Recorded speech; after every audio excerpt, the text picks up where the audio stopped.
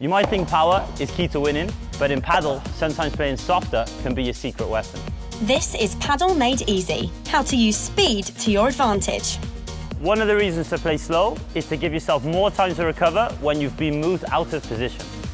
When you're out of position with your opponents in charge of the point at the net, hitting harder can give them pace to use against you. Playing softer gives them a lower ball to play, leading to a slower, looping volley and giving you time to recover your court position. Another reason why we play slow is to prevent our opponents from attacking. When your opponents are at the net, hitting harder can mean the ball sits up higher, giving them a volley at a comfortable height and making it easy for them to attack. Playing softer means the ball will drop lower, making it much harder for your opponent to hit winners into the corners. So though power might be tempting, try changing up the speed of your shots and you might be surprised by the results.